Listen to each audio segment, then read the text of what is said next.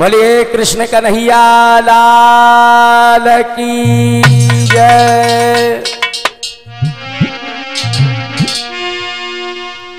हाँ तो मेरे कथा के प्रेमियों, चलते हैं अगले शोदामा भजन की तरफ़। भजन उस समय का है, जिस वक्त द्वारिका से सुदामा और अपने मित्र योगीराज कृष्ण से मिलने के बाद अपने सुदामापुरी में आए तो क्या देखा? वहाँ पर न तो उनकी झोपड़ी है, न उनकी भामिनी है, न उनकी भोली गाय है।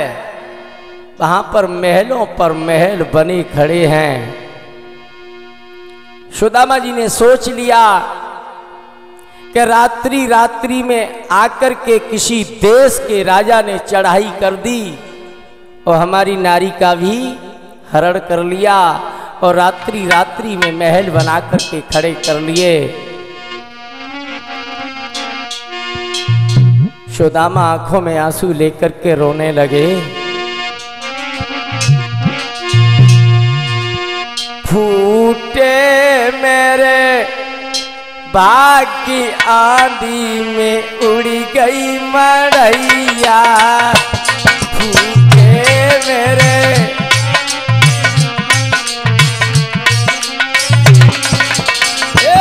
फूके मेरे। बाग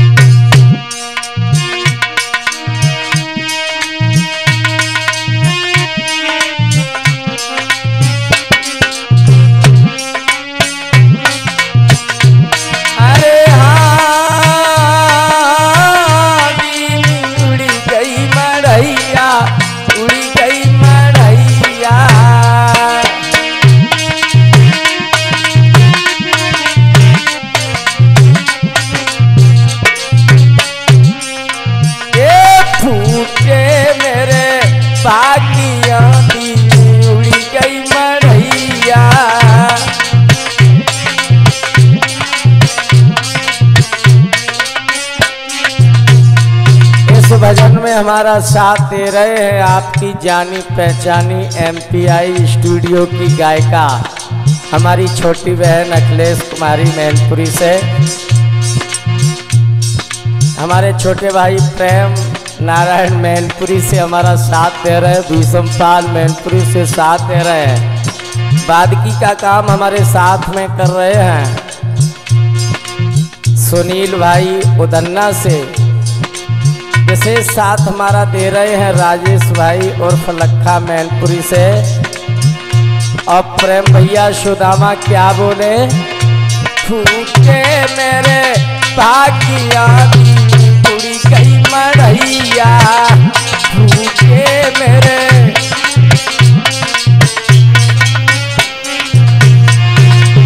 और क्या बोले सुदामा? अरे हाँ हाथों तुलसी को, पेड़ तुलसी को।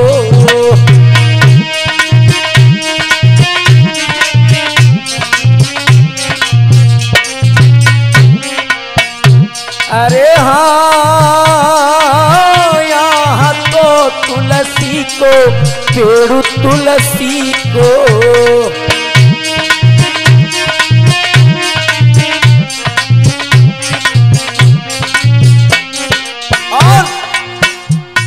मोई पे नदी खाइया भी उड़ी गई मरैया मोई पे नदी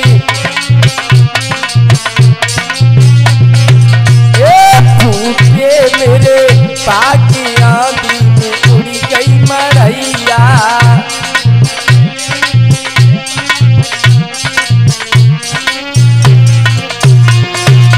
जैसे सुदामा ने देखा कि तुलसी के पेड़ के पास में मेरी भोली गाय बंधी रहती थी, वो भी दिखाई नहीं दे रही है।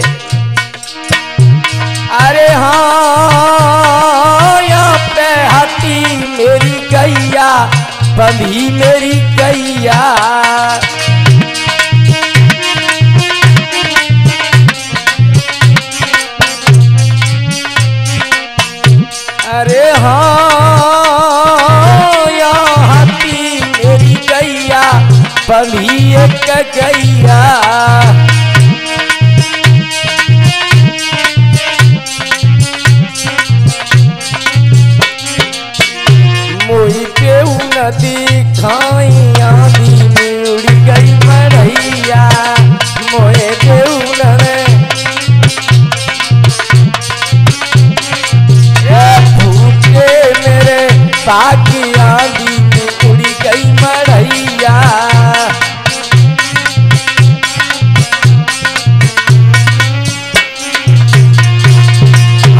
क्या देखा, टूटी हुई एक चारपाई पड़ी रहती थी, झोपड़ी में वो भी दिखाई नहीं दे रही है। सुदामा जी सोचने लगे, अब कहाँ सोएँगे?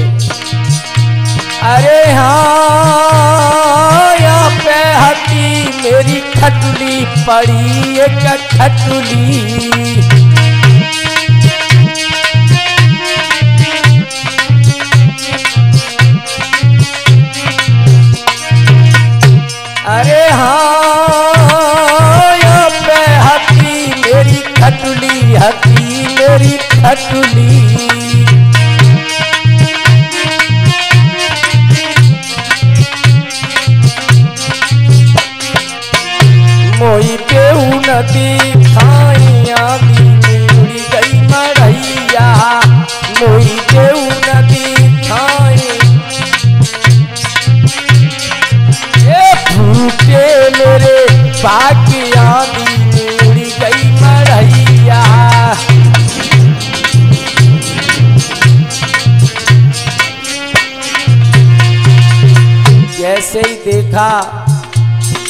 कि जिसको हम सात भमरियाँ डार के लाए थे भामिनी सुशीला को।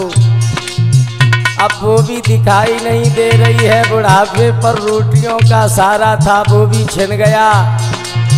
सुदामा क्या बोले, रो करके? अरे हाँ